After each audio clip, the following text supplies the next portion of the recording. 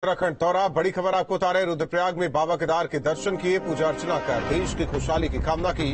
उपराष्ट्रपति ने अधिकारियों की, केदारनाथ की उनसे जानकारी भी ली। केदार सभा के अध्यक्ष ने पुष्प भेंट कर उपराष्ट्रपति का स्वागत किया। केदारनाथ के बाद बद्रीनाथ धाम पहुँचे।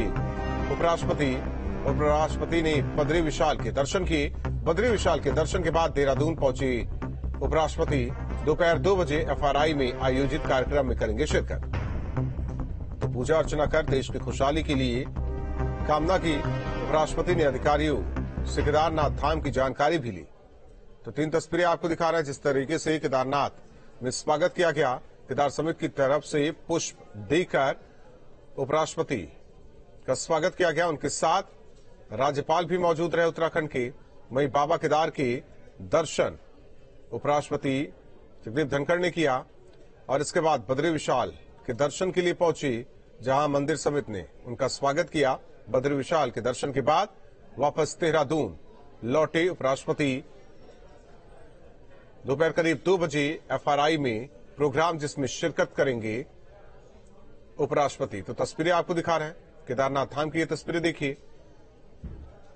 जिस तरीके से पुष्प देकर उनका स्वागत किया गया। हालाँकि पूजा अर्चना उन्होंने की, देश की खुशहाली की कामना उपराष्ट्रपति ने की है। और इसके अलावा अधिकारियों से केदारनाथ धाम के बारे में उन्होंने जानकारी हासिल की है। तो बड़ी खबर और साथ ही साथ तस्वीरें आपको दिखा रहे हैं। जिस तरीके से उपराष्ट्रपति पहुँचे उत्तराखंड, केदारनाथ और बद्रीनाथ के उन्होंने दर्शन किए और इसके बाद वापस देहरादून लौटे दो बजे के करीब एफआरआई में कार्यक्रम जिसमें शामिल होंगे उपराष्ट्रपति, शाम चार बजे राजभवन पहुँचेंगे उपराष्ट्रपति। शाम सात बजे उपराष्ट्रपति, डिफेंस कॉलोनी जाएँगे।